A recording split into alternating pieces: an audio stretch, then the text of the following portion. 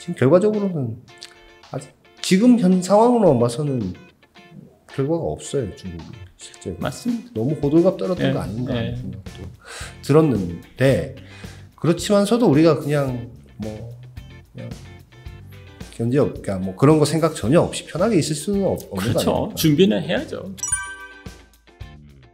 예, 오늘 QRT의 미래사업협력실 전문연구위원이신 어, 김용탁 위원님 모시고 어, 한국 메모리 산업 경쟁력에 대해서 알아보는 시간을 갖도록 하겠습니다. 위원님 안녕하십니까? 아, 네, 안녕하십니까. 초대해 주셔서 감사합니다. 예, 와주셔서 고맙습니다. 예. 어, 위원님 제가 2009년도, 8년도부터 SK 하이닉스 그때 당시에는 하이닉스 반도체였는데 출입할 때 사실 저는 언론 지상에서 이름만 이제 뵙, 뵙고 뭐 보도자료 나오면은 뭐 개발했다 이러면 어, 김용탁 CTO는 뭐 이런 식으로 이제 자료도 많이 어, 접했던 기억이 있는데 어, 하이닉스에 계셨었죠? 네네. 84년도에 입사를 해가지고요. 네. 2004년도까지 30년 넘게 뭐 현대전자였고 하이닉스였고 현재는 지금 저 나올 때도 SK 하이닉스였는데 그 네. 회사에 근무를 했었습니다. 그 그만두시고 뭐 학교에도 잠깐 계셨었죠? 예, 어, 올해 초까지 서울대에서요 6년 넘게 뭐 객원 교수를 하고 네.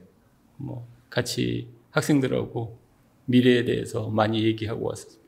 그러고 나서 이제 지금 QRT로 이제 자리를 옮기셨는데 어, 개발 메모리 개발 쪽을 주로 과거에 많이 하셨죠. 네네. 개, 개발도 여러 가지가 있지 않습니까? 공정 개발, 뭐 설계, 뭐 여러 가지가 있, 있는데 어떤 쪽이셨습니까? 음, 처음에는 제가 이제 product engineering을 그래가지고 네.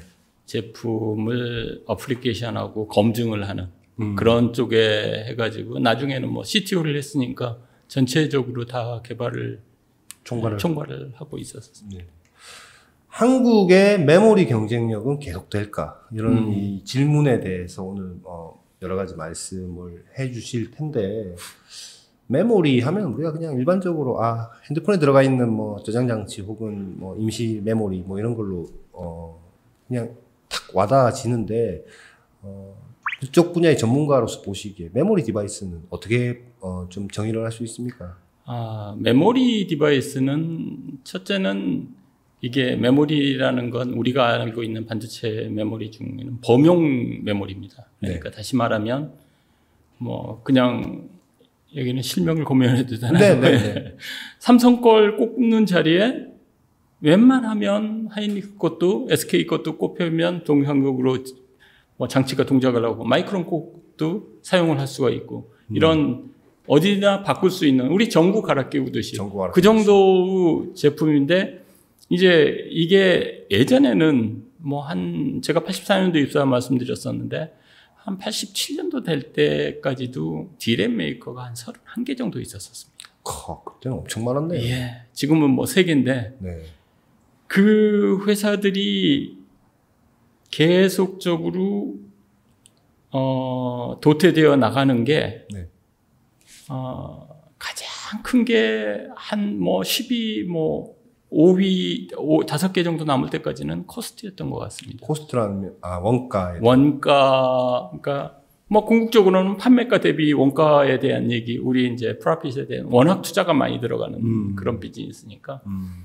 근데 지금에 와서는 코스트보다 더 위에 있는 게 퀄리티라고 생각해요. 아, 품질. 네, 품질이고. 예. 왜 그러냐? 뭐 한 15년 전만 하더라도 뭐 그런 세대가 별로 경험해 보지 않으셨을 수도 있는데 PC라 그러면 청계천에 가서 부품을 사다가 조립을 했습니다. 네. 조립 PC를. 네, 조립 PC를 하고 실은 델이라는 컴퓨터 자체도 그 회사가 처음 시작을 하는 게 customer한테 오더를 받아가지고 각기 다른 사양으로 한 3주 내지 4주 후에 delivery를 해주는 그런 그러니까, 그러니까 대신 조립을 해주는 인터넷은 그런 막 형태. 막 누르고 그랬죠. 메모리 그렇죠. 몇 개가. 예. 예. CPU 어떤 뭐, 거. 뭐. 포- 폼이 있어가지고 CPU 어떤 거 쓰고 하드는 어느 정도나 사이즈고 그랬었는데 지금은 어떻습니까? 아주 fancy하고 몇 개 안 남은 회사들이 그거를 공급을 해주기 때문에 quality가 다시 말해서 low-end 시장이 거의 없다는 얘기입니다. 음. 우리나라에 low-end 시장은 없다고 보고요. 음. 그러니까 특히 D램에서는 D램에는 없다고 보고 전 세계적으로도 D램에는 굉장히 드물다고 생각을 합니다. 그러니까 콜- 이제 과거처 세트 제품을 만드는 회사도 많이 줄어들었으니까. 그렇죠. 예. 그러니까 전 세계에 몇 개 만든 우리나라에서도 뭐 노트북 같으면 그렇게 많았었는데 지금은 뭐 LG가 대부분 만들고 삼성이 조금 만들고 뭐그 두 회사 뭐 전 세계적으로도 그거는 뭐 큰 차이가 없고요. 네. 그 다음에 몇몇 개 회사만 내기 때문에 performance도 중요해요. 중요하고. 퍼포먼스 그러니까 스피드도 빨라야죠. current도 낮아야죠. 뭐 등등 뭐 cost 못지않게 중요한 게 또 하나가 supportability입니다. 음. supportability라는 게 어느 한 회사에 가가지고 우리가 보통 요즘은 뭐 저기 조그만 구멍가게는 별로 어느 하나 살 때는 모르지만은 그러니까 많은 제품 계속적으로 구매를 할 때는 큰 회사를 가지 않습니까? 아니면 그렇죠. 백화점을 가든가 네. 모든 제품이 있어야 합니다. 네. 서버용 D램도 있어야지, PC용 D램도 있어야죠, 모바일도 있어야죠, 또는 그래픽 메모리도 있어야죠, 낸드에서도 뭐 SD 카드도 있어야죠, 뭐 등등등등 해가지고 이런 게 다 갖춰줘야지. 요즘 왜 customer가 큰 회사들이니까 네. 모든 분야의 제품들이 다 필요하니까 그 제품들을 가지고 한 회사한테 가가지고 몽땅 하기를 원하거든요. 그래서 supportability 그러면서도 강력한 엔지니어 support 음. 이게 가능을 합니다. 네. 그게 있어야지 판매도 됩니다. 그렇죠. 그러면서도 막대한 투자 비용이 들어갑니다. 실은 영동 고속도로를 타고 가면 하이닉스 빌딩이 하나 보이는데 그게 크게 보이죠, 네. 왼쪽에. 예. 그거가 투자하는데 어느 정도나 드실 거라고 생각. 십몇 조, 20조 뭐 이렇게 엄청난 돈이 들어. 얼추 20조 들어갈 겁니다. 20조요. 예, 20조. 요즘 공, 18조. 공장 하나 짓는데 그 정도 들어간다라는 얘기. 그러니까 복층으로 폐비 두 개가 있고요. 네. 복층으로 폐비 두 개가 있고 거기에 건설 비용, 뭐 크린룸 비용, 장비. 장비. 들어가면 그 20조 되는 게 하이닉스만 하더라도 이천에 두 개가 있거든요. 네. 청주에 두 개 있거든요. 네. 우시에 또 두 개가 있거든요. 음. 뭐 얼추 계산은 제가 엄청난- 못하겠는데 그 막대한 비용이 들어가는데 거기다가 뭐 잘 아시니까 아시다시피 요즘 감가상각이 한 뭐 4년 4년 정도 하는 것 같아요. 4년 정도 보통 요즘은 뭐 저기 잘 그 돈을 보니까 또 4년으로 아마 줄였을 겁니다. 뭐 음. 그런데 그 4년 내에 그 비용을 내고 그러면서 상량해 나가야 하니까 아마 메모리 챌린지도 엄청난 그런 상황이죠.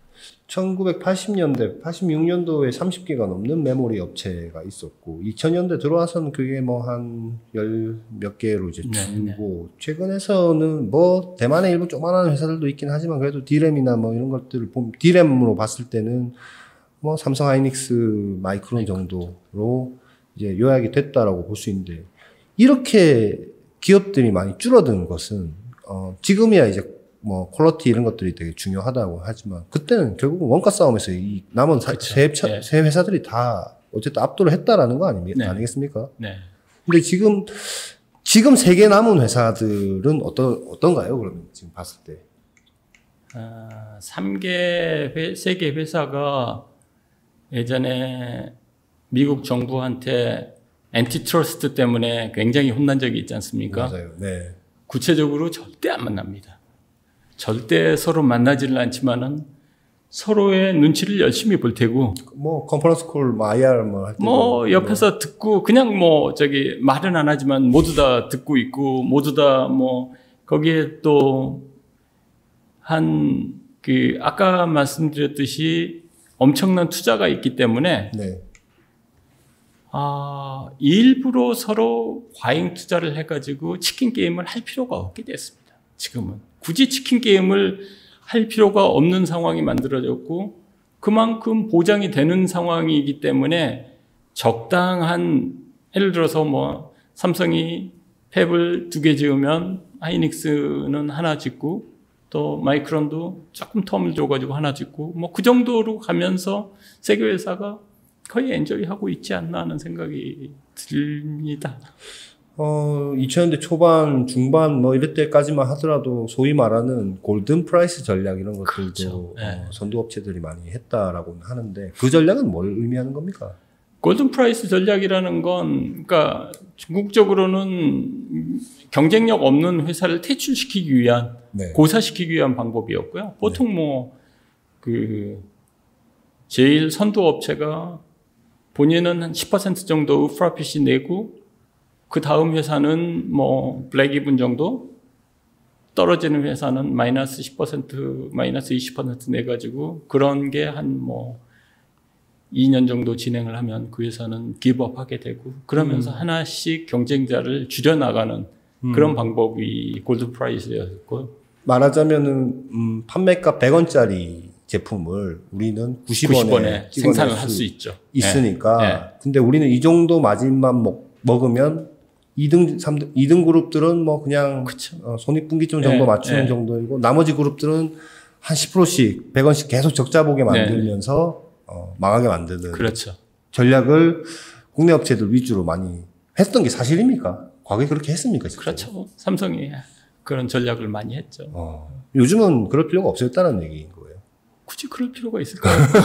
그렇다고 마켓 시어가 변하는 것도 아니고 네. 마켓 시어가 오히려 변하면 네.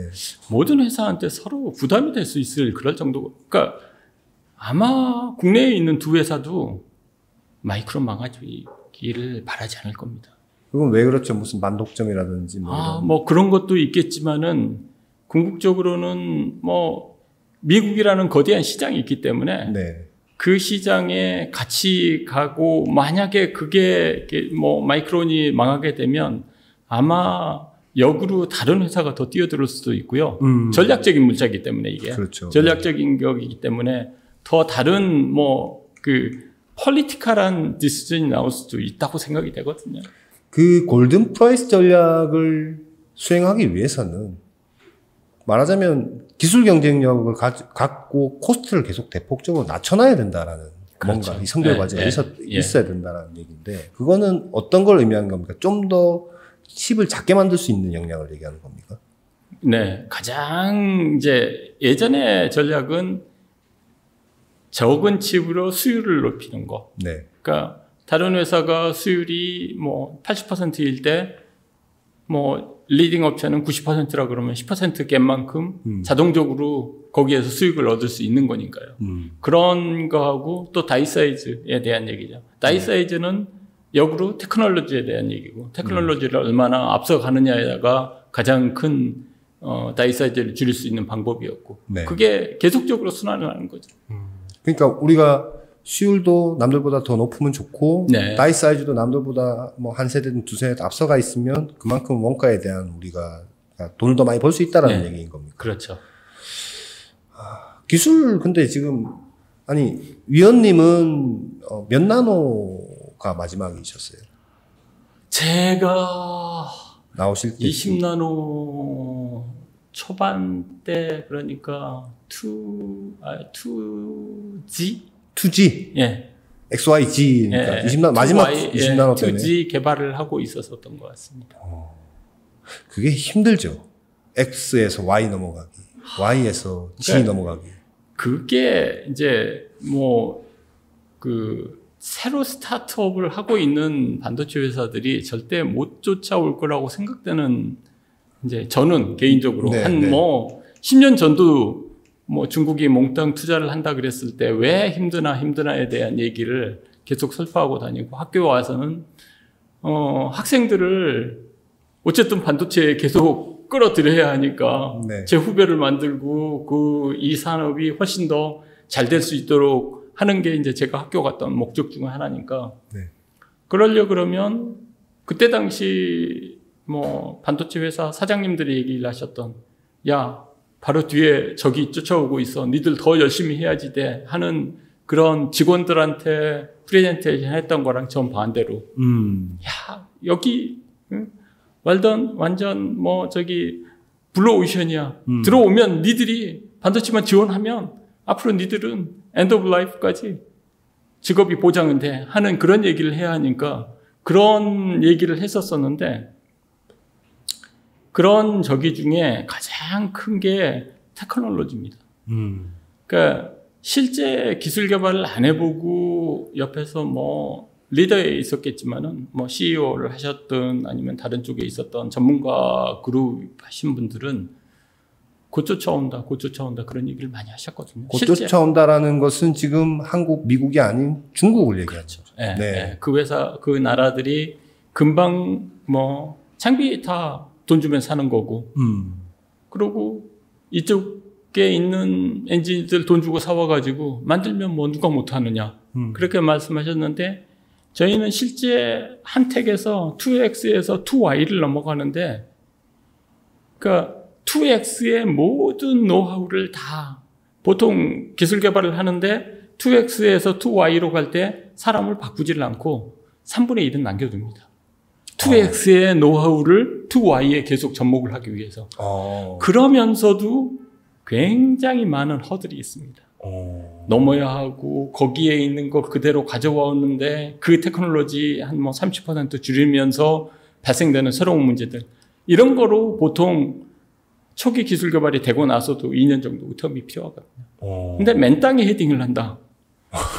그러면 제가 제가 봐서는 그 헤딩할 수 있는 게 그냥 맨 땅에 헤딩하면 뭐 머리가 깨지는 겁니다. 아니 XYZ가 있다고 20나노 때 네. 마지막에 XYZ가 있으면 X 할 때 만들었던 인원 30% 남기고 나머지 이제 여기 70% 가면 나머지 30%는 새로 들어온 인물 아니죠. 그건 아니. 그러니까 연구소에서 그 tech을 개발을 하던 인원이 3분의 2가 오고 아 X를 했던 인원 3분의 1이 남고 네. 다시 여기 인원 3분의 2는 가가지고 이제 one X 정도 개발을 하는 어. 이제 X 그러니까 테크놀로지가 한 3개 정도는 한 트랙 한 같은 시간대에 개발이 되고 있거든요. 아예 쭉 가는 거예요 그냥.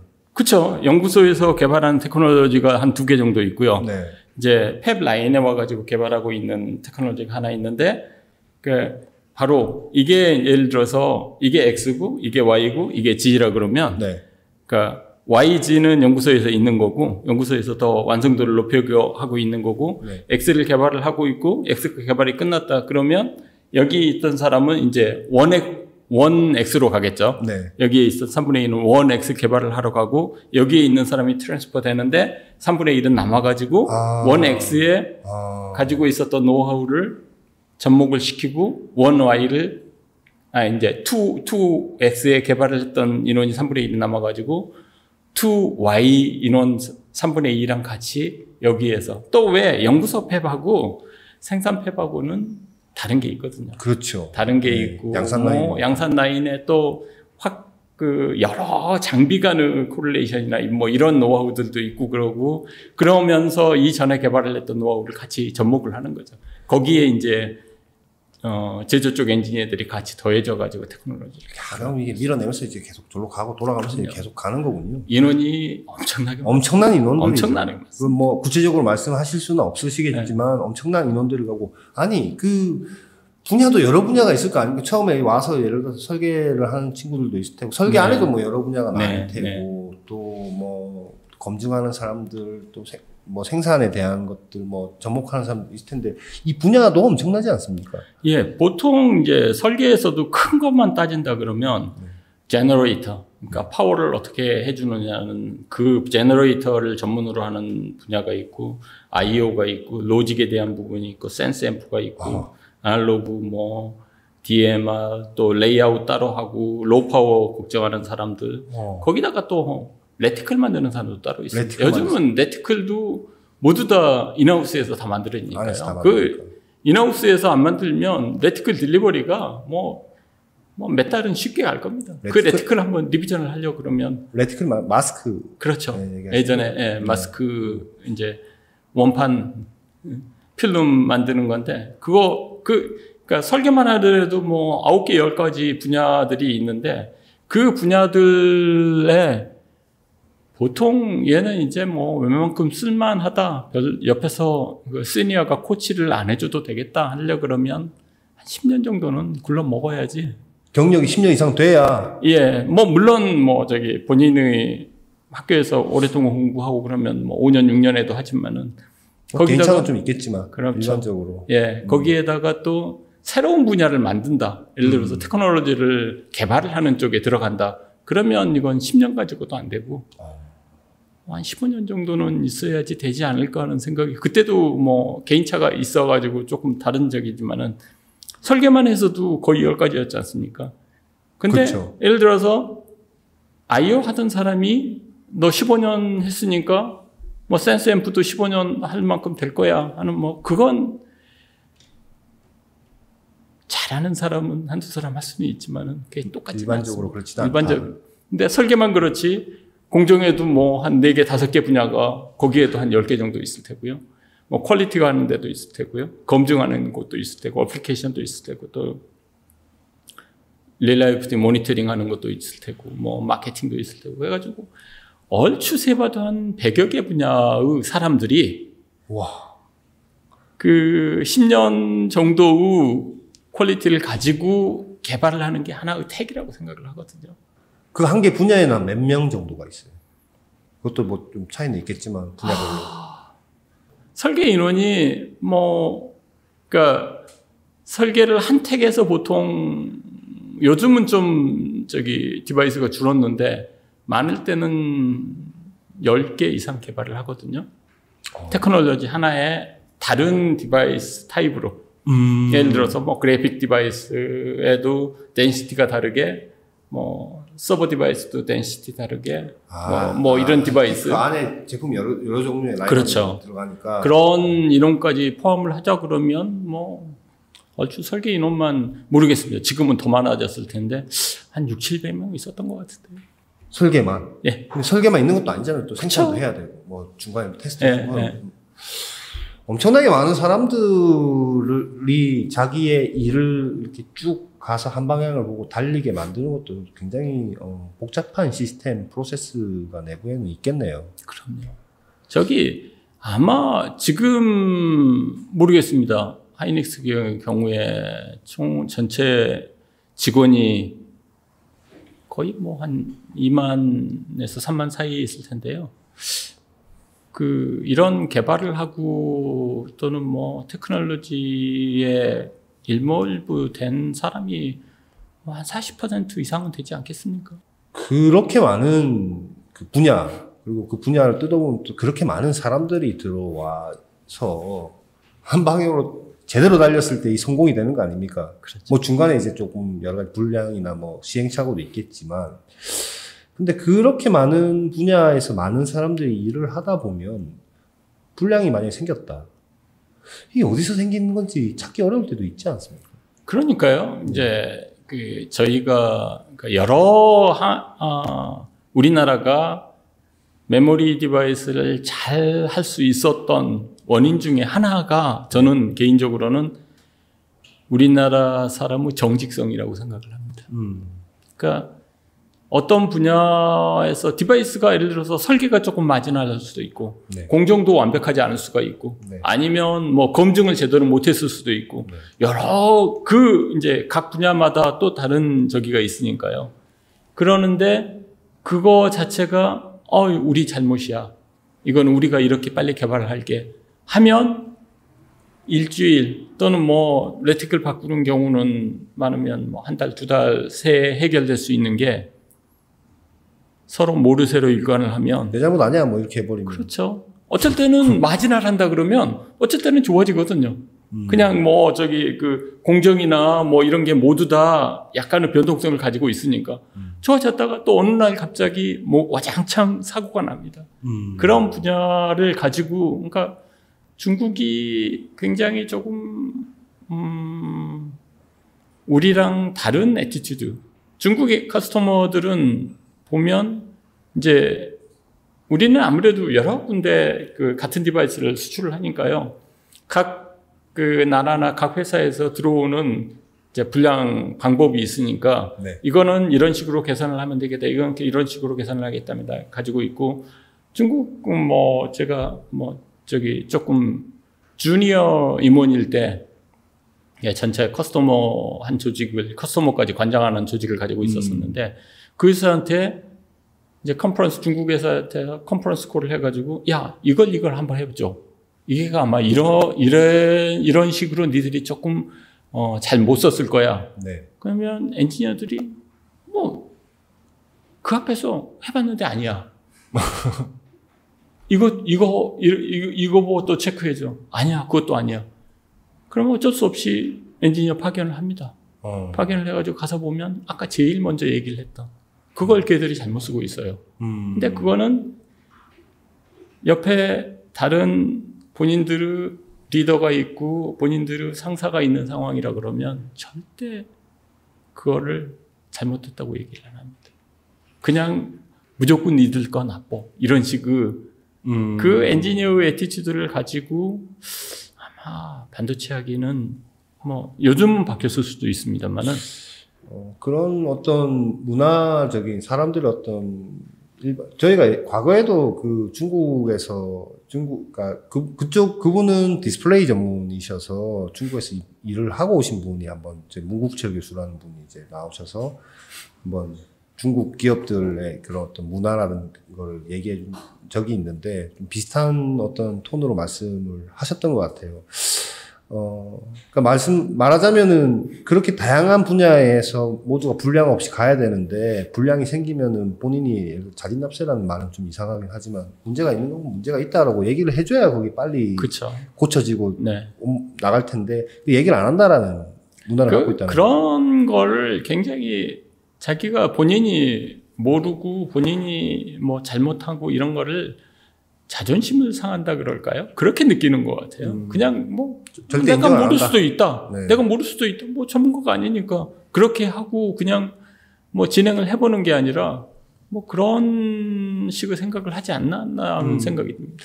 아니 그 지금 SK 하이닉스 시절 때 이제 그만두고 이제 나오셔서 네네. 그 학교로 이제 가시긴 하셨지만 중국 쪽에서 이렇게 좀 와서 좀 도와달라 뭐 이런 식의 오퍼를 받은 적이 있습니까? 뭐 어, 있었겠죠. 뭐 지금 뭐 많은 분도 가서 일하고 있는 걸로 알고도 있고 그러니까 봐서는 예, 네. 저도 뭐한 두 번 세 번 뭐 직접 찾아오기까지 한 그런 경우도 있었는데요. 음, 음. 그래서 뭐 어떨 것 같습니까? 저는 사실 아마 한 그 2014년 뭐 15년 뭐 이럴 때 중국에서 뭐 100조를 들인다, 1000조를 들린다든지 해서 뭐 반도체 굴기를 하겠다. 벌써 지금 그게 시간이 뭐한 6, 7년 지났어요. 근데 어, 뭐 일부 샘플 정도 출하했다. 뭐, 몇, 뭐 낸드 같은 경우는 몇 단 정도 했다. 이제 뉴스에 조금씩 나오고 있긴 하지만 그 회사들 지금 중국 내에서 뭐 돈을 못 갚아서 이제 어, 디폴트 선언도 되고 뭐 까보니 지금 6년 동안 결과물이 그렇게 별로 있지는 않았다. 우리가 너무 호들갑 떨었던 거 아닌가 이런 식의 얘기들도 있거든요. 뭐, 그- 뭐 위원님 보시기에는 어떻습니까? 그게 이제 제가 이제 처음 이와 같은 내용의 강의를 한 7년 전에 학교 가서 하게 됐던 게 이제 처음에 말씀드렸듯이 뭐 그때는 웬만한 전문가라는 분들 또는 뭐 언론 모든 분야가 뭐 5년 뭐 많아야 10년이면 우리나라는 이제 더 이상 반도체 가지고 메모리 가지고 먹고 살 수 없다. 그러면 학생들이 오겠습니까? 안 오죠. 그래서 반도체에 계시는 전문가들하고는 다른 의견을 내고자 이렇게 좀 더 이끌어 보고 걔들 뭐 우연한 기회에 걔 이제 어떤 한 회사의 미팅 석상에 이제 실무 미팅 석상에 한번 가본 적이 있거든요. 근데 한 다섯 개 뭐 그 정도 회사의 사람들이 모여가지고 뭐 이런 방향 굉장히 뭐 그 어그레시브한 마켓 저기 목표를 잡고 진행을 하고 있는 걸 들었어요. 음. 근데 실은 뭐 잘 기자님도 대표님도 아시다시피 저희가 2000년도에 LG랑 현대가 합병이 하이닉스로 됐지 않습니까? 그때 두 회사가 합병되고 테크놀로지를 한꺼번에 한 개로 만드는데 거의 몇 년이 걸렸거든요.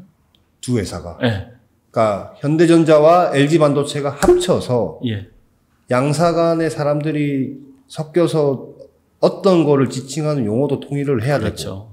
같은 용어를 쓰고 같은 뭐 저기 그 서킷도 조금씩 달랐고요. 네. 뭐그 회사는 히타치의 베이스고 우리 회사는 뭐 다른 뭐 회사 베이스고 해가지고 TI 베이스고 뭐 해가지고 그 회사가 다름으로 인해서 발생되는 용어의 차이부터 시작을 해가지고 어 각 프로세스별로 만들어지는 뭐 오다가 어떤 분한테는 그런 얘기를 했는데 예를 들어서 뭐 같은 돈가스라 그러는데 우리는 돼지고기를 60% 넣고 나머지 뭐 그 밀가루를 얼마 굽고 튀김가루 어떻게 넣고 이거를 구울 때는 어떻게 구워야 200도씨에서 어떻게 구워야 하는데 이 회사는 같은 돈가스인데 돼지고기를 뭐 저기 50%만 넣고 다른 고기 한 10%를 더 넣고 이래야지 맛있다고 생각을 하고 뭐 다 다르니까요. 다 다르니까. 같은 돈가스지만은 그런 상황인데 그때 당시에는 뭐 저기 디자인 layer가 한 300페이지나 400페이지 정도 뽑아서 봤습니다. 음, printout 음, 해가지고 봤는데 제가 나올 때쯤 야 그 plot을 뽑으면 몇 장 정도나 되냐 그랬더니 그때 당시에 한 3, 4천 장 된대요. 누구도 뽑는 사람이 없대요. 뽑을 수가 없죠. 예, 뽑아서 볼 수도 없으니까. 네. 근데 지금은 뭐 만약에 예전대로 바뀐다 그러면 뭐 그게 한 두 배 정도 됐겠죠 다시도. 네. 근데 우리 3, 400장 될 때도 단 두 회사가 같은 용어를 쓰는데도 몇 년이 걸렸는데. 걸렸는데 거기다가 뭐 저희야 뭐 각자를 개발을 했던 리더들이 들어 있는 거고 여기는 뭐 A, B, C, D 회사에서 뭐 저기 주니어들로 봐서는 그렇게까지 딥하게 개발하는데 인볼브를 안 했을 텐데 그 사람들이 또 각자 자기가 나왔던 회사에 대한 로열티는 만만치 않게 가지고 있는 걸로 생각이 돼가지고 이름만 들어도 알만한 그런 회사들에 있던 그렇죠. 사람들이 다, 그 예. 지금 그 회사라고 얘기한 건 소위 말하는 그 중국의 메모리 하는 회사를 말씀하신 거죠? 네네. 예, 예, 예. 그 말씀 조심스럽게 하셔가지고. 아까 앞에서 사람들이 잘 못 알아들을 수도 있어서. 제가요, 뭐, 오피셜리 이거는 뭐, 포스팅 되기 때문에 조금 네. 뭐, 네. 음, 그렇고 있습니다. 그러니까 뭐 우연, 그러니까 뭐 어떤 거기에 중국에 일을 하셨던 건 아니고 아니, 우연한 아니죠. 기회에 예, 예. 한번 이제 참관 옵저버처럼 보실 수 있는 기회가 있었는데 가봤더니 각기 다른 유명한 반도체 회사의 엔지니어들이 앉아 있고 출신 엔지니어들이, 출신 예. 엔지니어들이 앉아 있는데 통합이 잘 안 될 것 같다 뭐 이런 그쵸. 느낌을 받으셨다는 예, 거잖아요. 예. 현대전자 LG 반도체 옛날에 그 90년, 99년도, 2000년도 초반에 합칠 때도 삼, 뭐 수년이 걸렸는데 어, 처음부터 제로 베이스에서 다시 시작하기는 어렵지 않겠느냐라는 얘기를 이미 어, 한 4, 5년 전부터 계속 얘기, 4, 5년, 5, 6년 전부터 하셨다라는 얘기인데 지금 결과적으로는 아직 지금 현 상황으로만 봐서는 결과가 없어요 중국이 실제로. 맞습니다. 너무 호들갑 떨었던 예, 거 아닌가 하는 예. 생각도 들었는데 그렇지만서도 우리가 그냥 뭐 그냥 견제 없, 그러니까 뭐 그런 거 생각 전혀 없이 편하게 있을 수는 없, 없는 거 그렇죠. 아닙니까? 준비는 해야죠. 준비는 하고, 어, 지금도 반도체 회사들은 보면요. 네, 뭐, 우리나라, 국내에 있는 삼성전자든 SK 하이닉스든 매년 위기입니다. 음, 올해 뭐 20조 흑자가 나도 위기고, 뭐 저기 예, 그 흑자가 줄면 또 위기고, 네, 그렇지 않으면 언제나 그 경쟁에서 현재가 현재 같은 지위를 아마 못 누렸을 거라고 생각이 됩니다. 음. 지금도 뭐 저기 현직에 있는 뭐 후배들을 만나보고 하면 야 요즘은 좀 좀 어떻게 살만해졌냐 그러면 아 이거 뭐 여기 있는 잡이 있는 한은 뭐 계속 위기죠 하는 얘기를 계속 하거든요. 아니 그 2xyg 2xyg 때도 힘든 지금 1xyg를 넘어 1알파라고 해야 됩니까? 1a라고 해야 됩니까? 뭐 하여튼 뭐 계속적으로 쭉 가고 있는데 어 이게 10나노 때는 20나노 때는 세, 그렇게 세 개 트랙으로 가, 그세 네. 개 세대로 갔는데 10나노 때는 뭐 대여섯 개 트랙으로 뭐 몇 개가 될지 모르겠지만 다섯 여섯 개 나오겠죠. 그렇죠. 뭐 테크놀로지가. 그러니까 갈수록 이제 계속 더 좁히기가 힘들어진다는 의미인 거잖아요. 좁히기가 힘들어도 지고 또 뭐 얼추 생각하면 그냥 생각하면 예를 들어서 30나노에서 2x 아니 뭐 3x 할 때는 뭐 30 5나노 뭐 5나노, 네. 뭐 31나노 이랬을 때는 35나노 하더라도 0.5를 줄이니까 한 15% 줄이면 되지 않습니까? 16%. 아, 근데- 그렇지 그게 또 10나노에서 5를 줄이는 건 33%를 줄이는 거예요. 뭐. 그러니까 네. 그 ratio가 또 다르니까 테크놀로지가 어려운 게 있지만은 그 내에서도 뭐 근데 어, EUV layer가 들어오면서 조금 더막 테크놀로지가 계속 더 줄일 수 있는 상황이 되지 않을까. 근데 이제 EUV를 쓰느냐 안 쓰느냐에 대한 얘기인데 예전에 이제 에, 하이닉스가 돈이 없어가지고 뭐 장비를 빨리 못 들어왔을 때 얘기인데 그 테크놀로지 개발할 때 아까 말씀드렸듯이 그 전 테크놀로지의 문제점을 피드백을 받는데 이 도입이 늦어진다는 얘기는 역으로 그게 adjust 할 때의 타이밍을 그만큼 더 길게 가져간다는 역설도 있습니다. 그러니까 어떤 의미죠 그게? 예, 예를 들어서 마이크론이 EUV를 안 쓰고 현재 어느 정도 개발을 하고 뭐 한다. 그러면 이 다음에 EUV를 안 쓸 수는 없거든요. 그 다음 tech에서는. 뭐 한, 한 tech 정도는 음. 또는 뭐 두 tech 정도는 delay 할 수 있지만.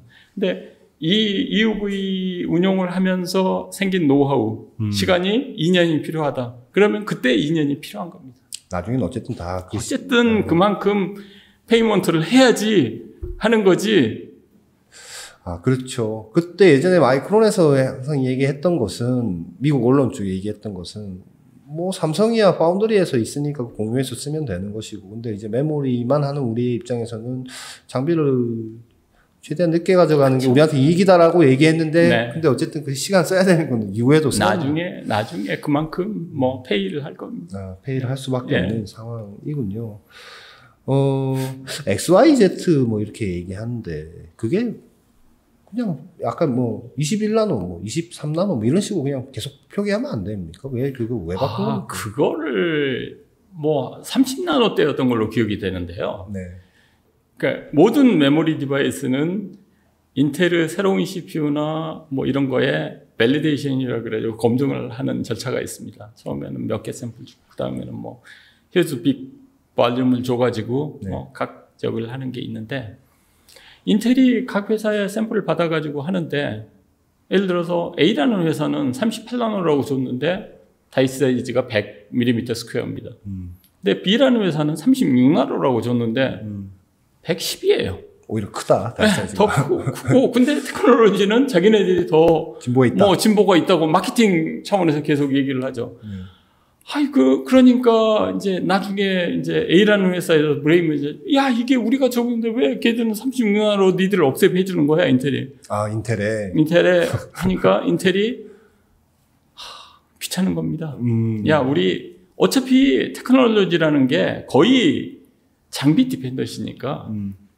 이 장비 가지고 낼 수 있는 건 뭐 맥시멈 여기. 그러면 이걸 38, 37, 35 이거 하지 말고 그냥 3X로 하자. 30에 처음 나온 건 X로 첫 번째 해. X 버전. 그다음에 그다음 Y 예, 버전. 예. 그뭐 그러니까 그 테크놀로지에서 각 회사마다 die size가 좀 차이가 있을 수가 있고요. 어떤 음. 회사는 뭐 low density나 해가지고 좀 더 줄일 수도 있고 어떤 회사는 low current를 위해 가지고 좀 더 키우지만은 current를 늘- 늘려도 음. 되고.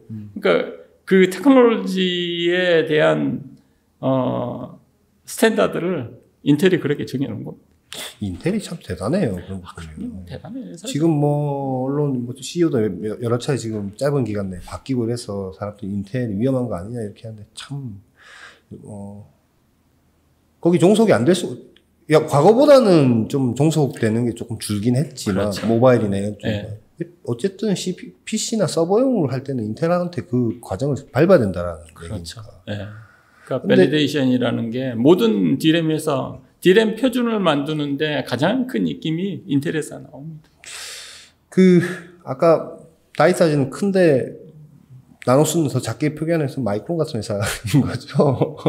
뭐, 뭐, 구체적으로 말씀 안 드려도 잘 아시는데요. 뭐, 그 마지막으로 한 가지만 더 여쭤볼게요. 예. 우리가 이제 D램이라든 이런 거에서는 굉장히 어, 말씀 들어보니까 후발주자들이 쫓아오기는 되게 어려운 분야예요. 그렇다고 물론 우리가 발 뻗고 그냥 신경 안 쓸 건 아니지만 상당한 수준의 격차를 유지하고 있다.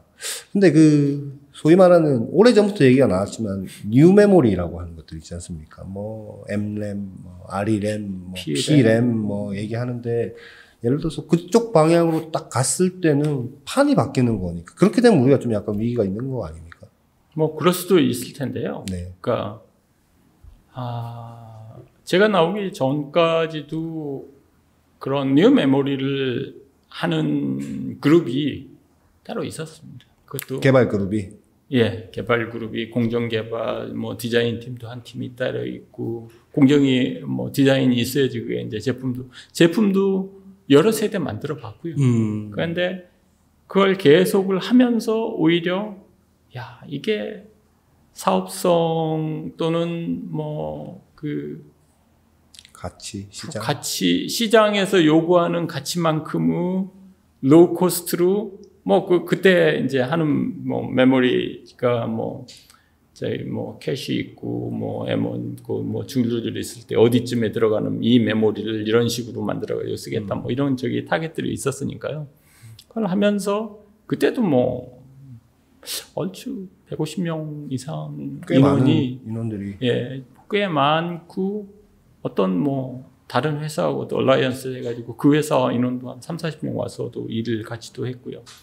그러니까 절대 현재 메모리 하고 있는 회사에서 그 분야를 스터디 하- 안 하는 게 아닙니다. 하는데 그 계속적으로 다른 회사에서 하고 있는 만큼 그 이상의 노력과 그 인원과 돈을 들여서 하고는 있는데 아직 전혀 어, 경쟁이 안 된다고 느끼는 거죠. 기존 메모리하고 비교했을 네, 때. 네. 음. 그러니까 하면 할수록 그걸 더 깨닫는다라는 의미. 그렇죠. 아 이거 하긴 하지만 이게 기존의 메- D램 낸드를 대체할 수 있을 정도로 뭔가 원가가 확 줄어들거나 퍼포먼스가 확 높아지거나 뭐 이렇지는 않은 것 같다는. 뭐또 reliability 문제도 있고 또 yield에 대한 문제도 있고 물성이 계속 변하는 그런 문제도 있고 그러니까 계속 어느 누구 못지않는 보험은 지불을 하고 있는 겁니다. 보험을 들어놓고 예. 있다라는 얘기.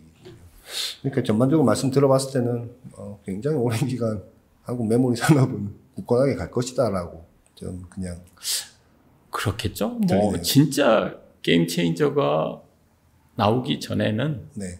뭐 현재의 뭐 우리의 경쟁력은 계속될 거라고 생각이 듭니다. 위원님 뭐 언제 또 또 시간이 되시면 비슷한 주제에 또 우리 구독자 시청자분들이 궁금해할 만한 내용 제가 좀 여쭤봐서 한번 한 번 더 나오셔서 아, 얘기해 예, 주시면 예, 고맙겠습니다. 예, 감사합니다. 오늘 고맙습니다. 네, 감사합니다.